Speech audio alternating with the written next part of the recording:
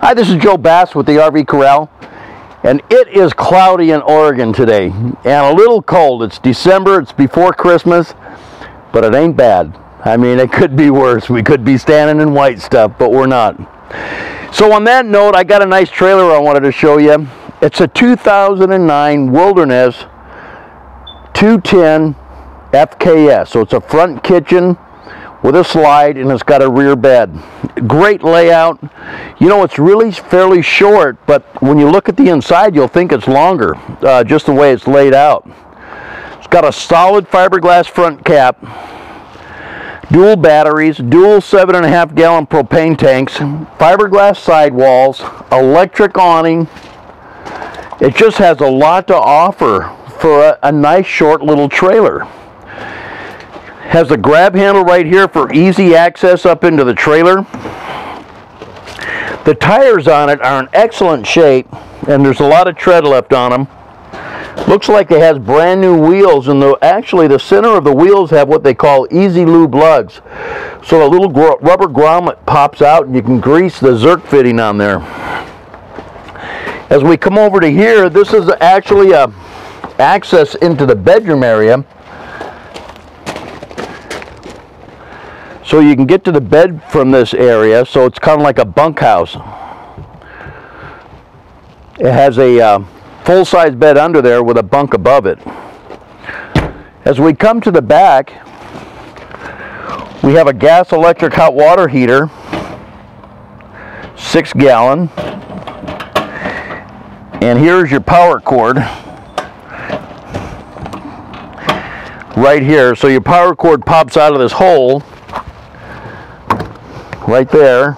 There's your 30 amp power cord. And then you have you have cable, actually DSS and cable. So it's made for satellite or cable. Also has a ladder that goes up the back, spare tire with a carrier. And as we come over to this side, it has an outside shower. So that's hot and cold water. And if you look at the fiberglass on it, I just wanted to point it out. It is a, a gloss uh, type of fiberglass, but it is Filon, but they took very good care of it, it looks like. It almost looks like this unit has been garaged, I would say. It just looks to be in excellent shape. It's got a small little dinette slide. Usually on these shorter units, that's all you're going to get. And um, here's your water tank fill. Let's go look at the inside of this. Now as you come into the unit, it's got hardwood floor, simulated hardwood floors throughout. So there's no carpet in here whatsoever, which is nice. It's easy for floor cleaning. It has a nice large refrigerator and uh, freezer area. This is the front kitchen systems. You got a corner sink, a 60-40 sink, fairly deep high-rise faucet. Lots of storage throughout. This unit weighs, looks like dry weight is 5669. So 5,669 pounds. Now here's your switch for your gas electric hot water heater. So this switch is for electric, this switch is for propane. And here's your uh, switch, your toggle switch for your electric awning. And this is your toggle switch for your slide out. And this is for your water pump. And this is for all your fluid levels to tell you what's going on in the unit. It's got these nice toggle switches all throughout for all of the um, lights.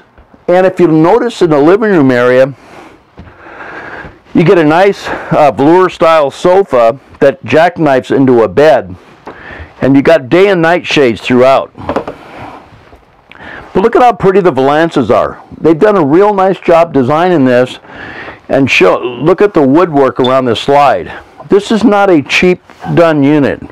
This has been uh, they've taken uh, some time to design this unit and manufacture it in such a way that it has great eye appeal.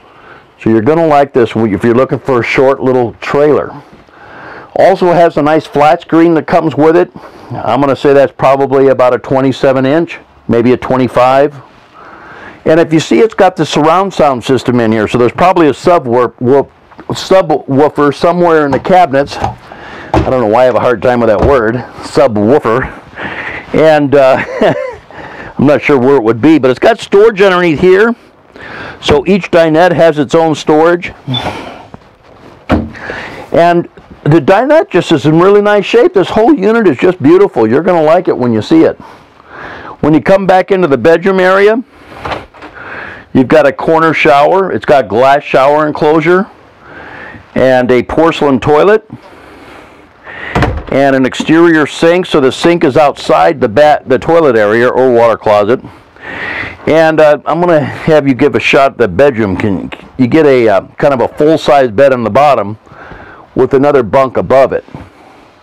So this virtually would sleep a family of six quite easily.